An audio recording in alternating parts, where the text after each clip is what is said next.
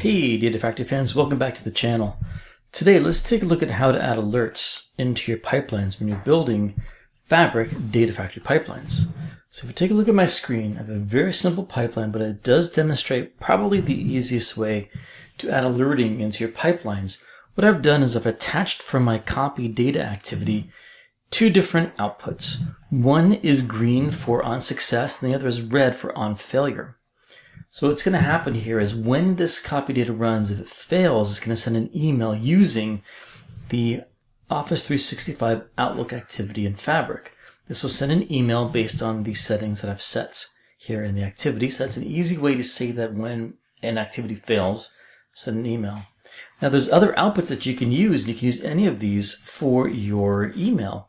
So you could say, for example, that on completion, you want to, let's say, um, send an email simply when the activity completes. So you'll add an Outlook Office 365 activity. Um, over here, it automatically defaults to the green uh, on success. I'm just going to delete that. Now instead attach it to the on completion. Same thing with on fail or on skip. Any of those options uh, you can use here within the activity output.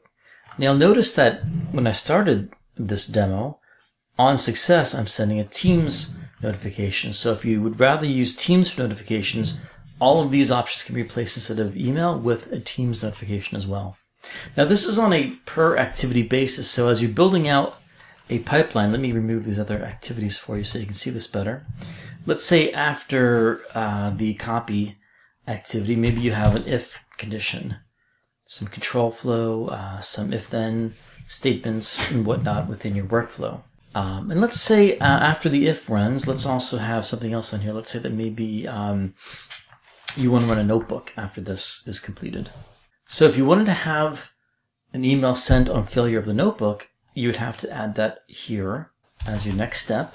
And let's move this to on fail. Now I'm going to send an email when the notebook activity fails.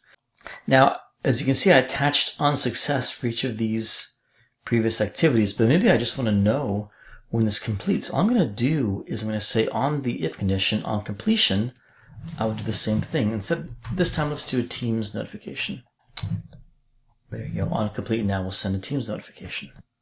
Now, of course, at the very end of this entire chain, you can have an email that runs when everything is completed, but there's different branches as you see as we start to build out a more complex workflow.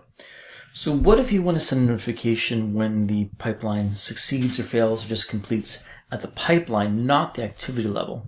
Well, in that case in Fabric, what you're going to do is go into the real-time intelligence area of the product and create a data activator. So the easiest way to do that is to go to create new and just search in here for the data activator.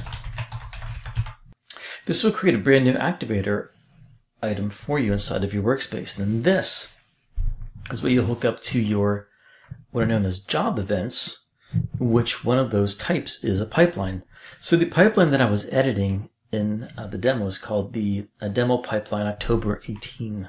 So if I go into my activator object that I've created and I click on get data, I can point this to my fabric job events. And you'll see that there are four different event types. There's job created, the status changed, succeeded, and failed.